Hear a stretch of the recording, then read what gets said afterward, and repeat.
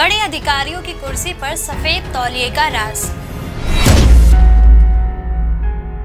अगर आप किसी बड़े सरकारी ऑफ़िस के कार्यालय गए हो तो आपने देखा होगा कि उनकी कुर्सियों पर सफ़ेद तौलिया रखा होता है। दशकों से चली आ रही इस परंपरा के पीछे का लॉजिक क्या है? इसके बारे में कोई भी सटीक जवाब नहीं दे पाता है।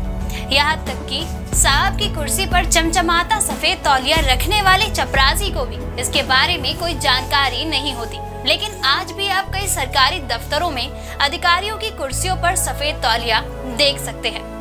हालाँकि आज की युवा पीढ़ी के कुछ अधिकारियों को इसे रखने या ना रखने से कोई फ़र्क नहीं पड़ता।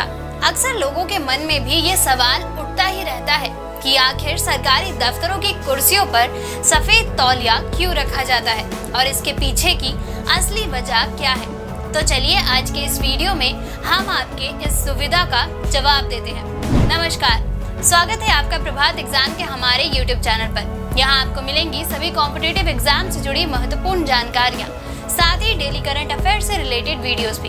अगर आप हमारे चैनल पर पहली बार आए हैं तो हमारे चैनल को लाइक और सब्सक्राइब करना ना भूलें। पिछले दिनों इस सवाल को लेकर सोशल मीडिया पर देश के कई बड़े आईपीएस, आईएएस, आईआरएस अधिकारियों के बीच जंग छिड़ गई थी।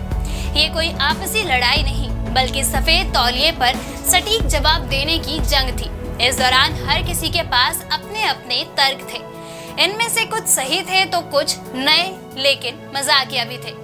देश में कुछ आईएएस, आईपीएस और आईआरएस अधिकारियों के इन्हीं मजाकिया जवाबों ने सोशल मीडिया पर महफिल लूट ही ली थी। दरअसल इसकी शुरुआत आईआरटीएस अधिकारी संजय कुमार के एक ट्वीट से हुई जिसमें उन्होंने लिखा अगर एक कमरे में 10 एक जैसी कुर्सियाँ हो तो सीनियर की कुर्सी में अंतर कैसे करें? साथ ही जवाब भी दिया उस पर सफ़ेद तौलिया रख दे। बस फिर क्या था उनके इस ट्वीट के जवाब में सोशल मीडिया पर ज्ञान की गंगा बहने लगी। ऐसे दौरान आईएएस, आईपीएस, आईआरएस अधिकारियों के एक के बाद एक बढ़कर ज़बरदस्त जवाब मिलने शुरू हो गए। इस दौरान किसी ने कहा, सीनियरिटी के प्रतीक के रूप में यह सफ़ेद तौलिया भारतीय इनोवेशन है। तो किसी का जवाब था, जब एसी नहीं होते थे तो उस दौर में सफ़ेद तौलिया नमी सोखने की देसी जुगाड़ होता था। क्या है सफ़ेद तौलिए का इतिहास? इस दौरान आईआरएस अधिकारी विकास प्रकाश सिंह ने जवाब दिया, भारतीय नौकरशाही में सफ़ेद तौलिया हमेशा से एक जिज्ञासु मामला रहा है, लेकिन असल में इसकी शुरुआत ब्रिटिश काल के दौरान हुई थी। इसके पीछे का मुख्य कारण था उस दौर में बनने वाली पतले कुशन की कुर्सियाँ। ठंड से बचाव हो, इसलिए भी तौलिए का इस्तेमाल होता था, जबकि गर्मियों में अंग्रेज़ अधिकारी पसीना सुखाने के लिए इसका इस्तेमाल करते थे। ब्रिटिश काल से ही हम इस परंपरा से जुड़े हैं, जो आज तक कायम है। सफ़ेद तौलिए का राजनीतिक कनेक्शन सफ़ेद तौलिए का भी अपना एक अलग ही एटीट्यूड है। सफ़ेद तौलिए का ये चलन केवल सरकारी अधिकारियों तक ही नहीं, बल्कि भारतीय राजनीति में भी इसका बड़ी मात्रा में इस्तेमाल होता है।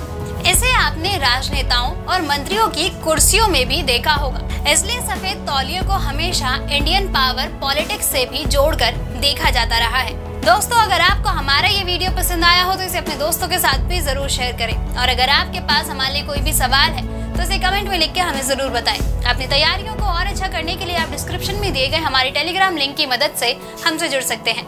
जल्द आपसे फिर मुलाकात होगी एक नए टॉपिक पे, एक नई वीडियो के साथ। तब तक के लिए नमस्कार।